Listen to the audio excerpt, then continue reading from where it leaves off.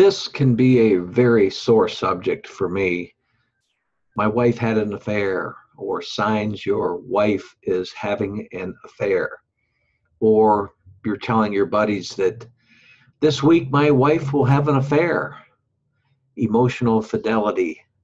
It hurts, doesn't it? Hey guys, my name's James Nussbaumer, and I'm the author of The Master of Everything, a series of books that's designed to help us live a better life, understanding spiritual, metaphysical principles that help us get the life we want and and to forgive and to heal and to move on.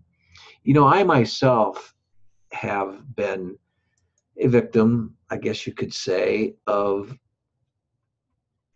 a former wife uh, having an, an affair, and I um, kept it to myself, other than to one of my sisters that I had spoken about briefly about it, but we never really went too much further on it. But the best thing you can do is find someone to communicate.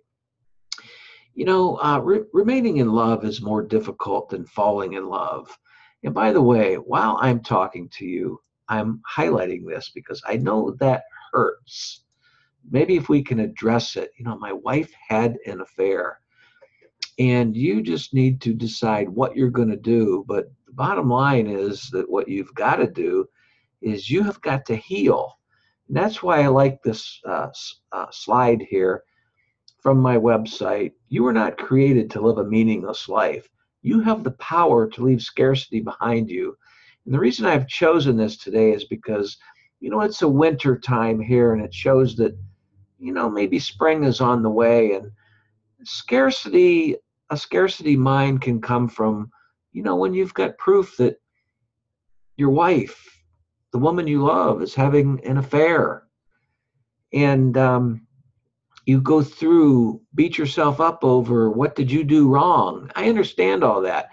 But my point is as you're listening to this now and as you're seeing this right here my wife had an affair in the description box down below, there is a link to my blog site and an article that I wrote that's very well received that has helped many men, not just men, but women too, maybe where they find their husband was having an affair. So you women, I, I don't, I'm not, uh, you know, being against you there as well for having the same problem. It's just that I'm a man and I'm touching men who have experienced emotional infidelity and because I know their pain. In fact, I still, when I think back to it to this day, still feel that pain. But it's, it's not really a pain, it's just maybe a, a pinch nowadays.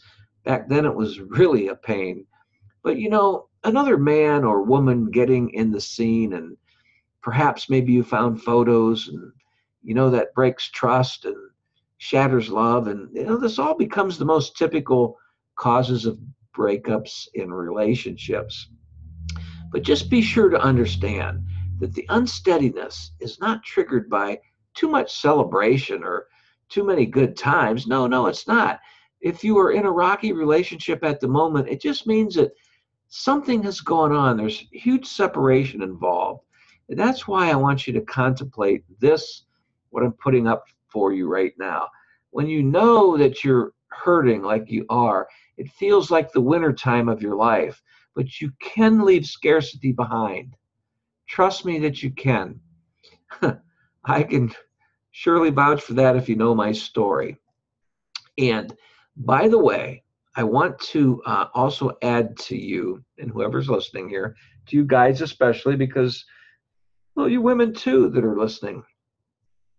JamesNussbaumer.com. You can find out more about my weekly podcasts Mondays at 1 p.m. Eastern Time.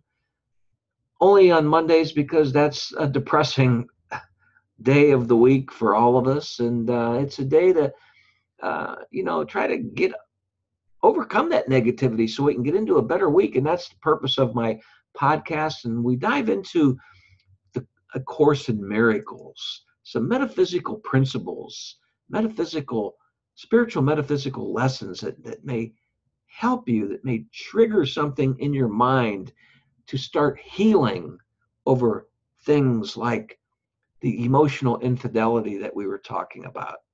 Hey, I hope you join me. For you guys, here are some indications at this blog that the link is down below that I'd like you to take a look at that maybe some indications that maybe your your lovely woman is in love with someone else or signs that your wife is having an affair and some tips on how you can heal without anxiety and anger and progressive hurt, how you can get over this.